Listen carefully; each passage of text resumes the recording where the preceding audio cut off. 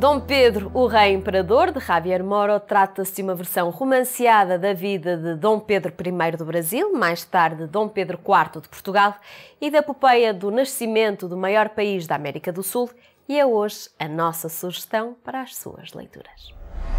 El título original, El Imperio eres tú, que es una frase del libro, eh, yo creo que hace más justicia a lo que es. Es la epopeya de eh, no solo de la creación de Brasil, sino de aquella página de la historia que cambió realmente el rumbo de los asuntos del mundo.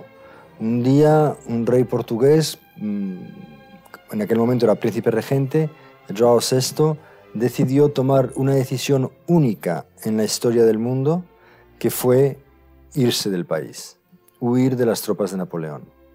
Yo he querido contarlo por dentro, yo no soy un historiador, yo he querido contar por dentro lo que los historiadores han contado por fuera.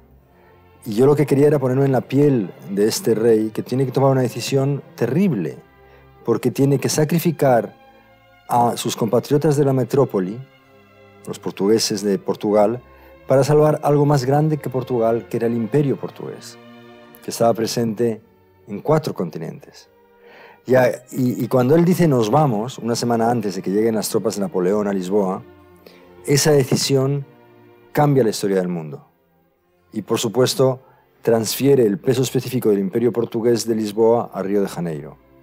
Permite que Brasil acabe siendo un país grande, unido y homogéneo, porque se queda ahí la monarquía a vivir.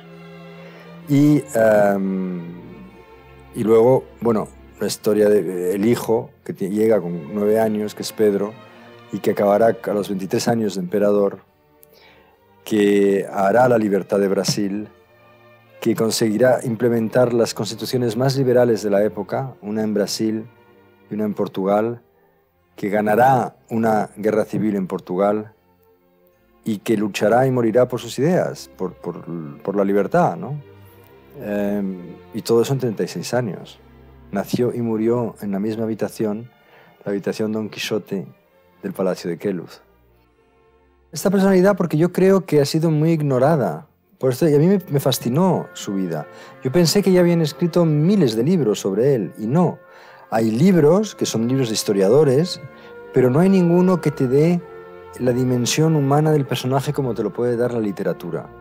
Por eso yo digo que este libro no es novela histórica en el sentido de que no hay nada inventado.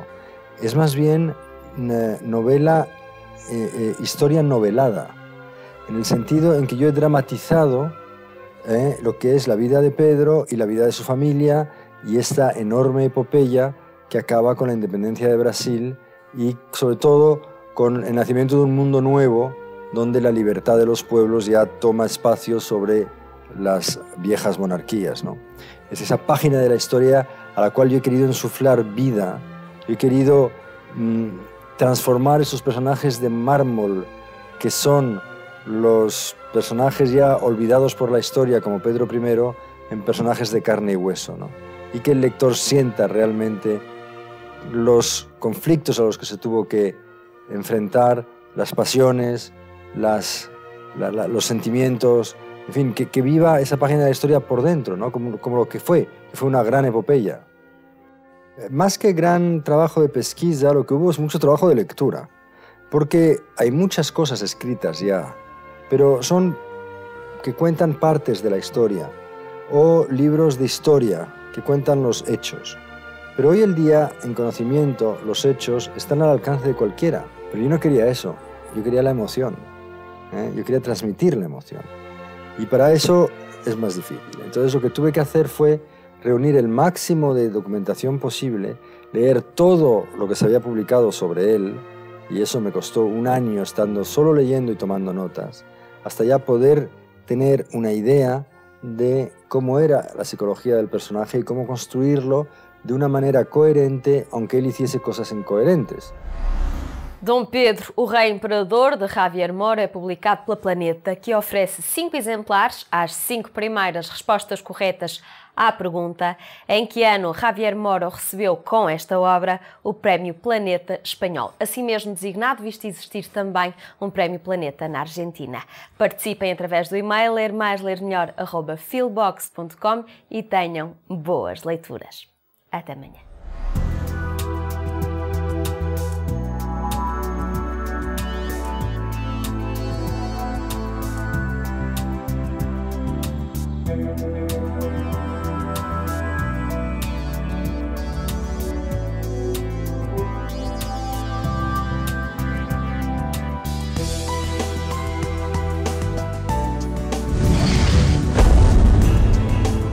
Programa apoiado pelo Plano Nacional de Leitura.